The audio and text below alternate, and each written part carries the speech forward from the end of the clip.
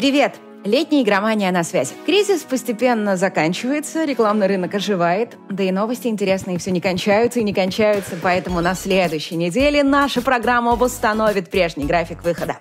Со вторника по пятницу. Правда, только на неделю. Ну а как дальше? Пока не знаем. Скорее всего, сможем делать как минимум три выпуска в неделю. Ну а сегодня у нас просто куча всего интересного. AMD рассказала о будущем видеокарт. Создатели стратегии Total War анонсировали шутер. Sony, возможно, делает портативную консоль, а в GTA 6, по слухам, появятся разрушаемые города. Об этом и многом другом сразу после заставки.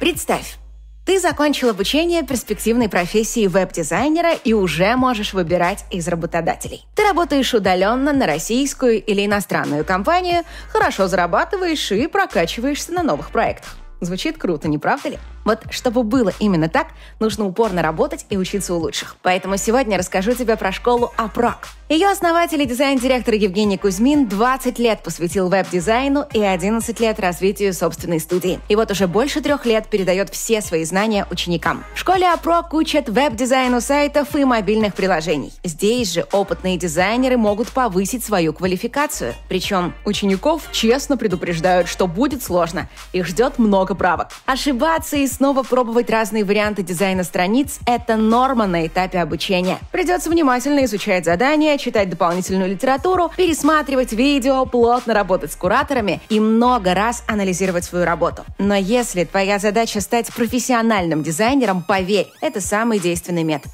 В отличие от других курсов, АПРОК делает акцент на структурированность и последовательность подачи материала, а также на индивидуальную работу с кураторами. Онлайн-школа готовит к работе в российских и иностранных компаниях и знает, что им нужно. Она помогает ученикам создать портфолио на крупнейшей дизайнерской площадке Behance и устроиться на первую работу. У других вся помощь на этом и заканчивается. Однако Вопрок поддерживают связи после учебы, оказывая консультации по дальнейшему карьерному росту и развитию дизайнерских навыков.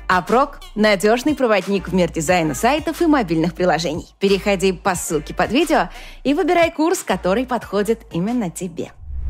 Компания AMD рассказала, чего ждать от следующего поколения видеокарт, которое анонсирует уже в ближайшие месяцы. Увы, новости грустные. Новые модели станут более горячими и начнут кушать больше электроэнергии. Причем в будущем ситуация будет становиться все хуже и хуже. При этом инженеры компании стараются как могут. Новая архитектура RDNA 3 на каждый ватт будет выдавать в полтора раза больше производительности. Но даже этого оказалось недостаточно. Чтобы не отстать от NVIDIA, пришлось раскочегарить видеокарты карты на полную катушку. Также AMD подтвердила, что им пришлось начать использовать чиплеты. То есть, по сути, под одной крышкой будет работать несколько разных процессоров. Так что ждем от AMD очередного огнедышащего дракончика, который будет греть нас долгими зимними вечерами в сети появилась целая куча информации о GTA 6. Причем источник не анонимный вброс на каком-то там форуме, а целая статья на сайте. Для начала журналисты подтвердили прежние слухи о том, что главными героями станут брат и сестра, которых разлучили в детстве. Их родителей убил наркокартель. В итоге брат стал агентом управления по борьбе с наркотиками, а сестра – боевиком того самого картеля. Действие сюжета, похоже, развернется в Vice-City, а еще внезапно в Карцер-Сити. Это город из другой игры Rockstar симулятора маньяка-убийцы Manhunt. Но игроки также побывают и во многих других местах. Инсайдер уверяет, что Rockstar хочет сделать реалистичный город с разрушаемыми зданиями, а также с искусственным интеллектом, который будет максимально точно имитировать городскую жизнь. Релиз запланирован на 2024 год.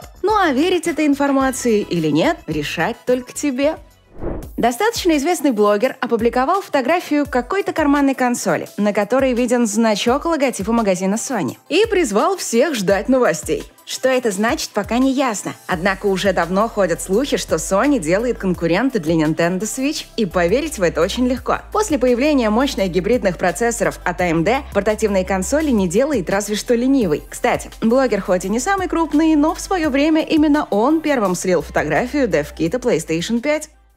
Студия Creative Assembly известна не только по серии стратегии Total War, но и как создатель отличного ужастика Alien Isolation. И вот они решили попробовать себя в новом жанре. И анонсировали онлайновый шутер Highness. По сюжету, в будущем Земля стала непригодной для жизни. Богачи живут на Марсе, а бедняки ютятся на орбите Земли в огромной космической станции под названием «Гниль». Нанятые богачами команды собирают на Земле ценные вещи, а игроки станут бандитами, которые грабят этих товарищей, а заодно и своих конкурентов, которые делают то же самое. Обещают динамичные бои, в том числе при нулевой гравитации между пятью командами по три человека в каждой. В общем, игра выглядит как духовный наследник Low Breakers, который, напомню, с треском провалился. Ну а какая судьба ждет этот проект, узнаем в 2023 году.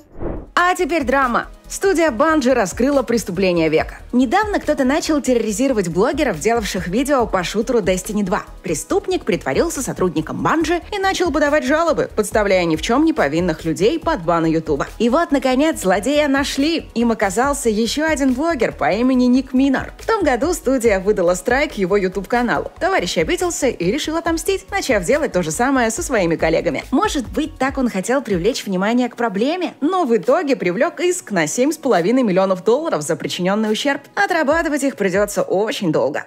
Стала известна дата релиза экшена A Plague Tale Requiem. Игра выйдет 18 октября, в том числе на сервисе Game Pass. Также появилось целых 10 минут геймплея, которых видно, насколько все изменилось. Девочка Амиция превратилась в Арнольда Шварценеггера. Она без колебаний убивает врагов, причем с предельной жестокостью. А маленький мальчик Гуго стал настоящим монстром. Он научился видеть сквозь стены и управлять крысами даже вне поля своего зрения. Да и вообще, теперь это уже не инди-проект от неизвестно кого, а полноценный блокбастер и одна из самых ожидаемых игр года.